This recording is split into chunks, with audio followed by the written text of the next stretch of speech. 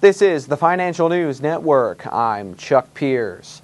Wells Fargo announced that it reached a $590 million settlement in principle with plaintiffs who claimed in a lawsuit that Wachovia Corporation misinformed investors.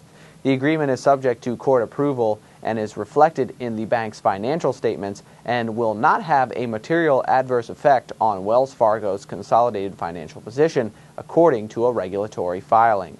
Wells Fargo acquired Wachovia in 2008.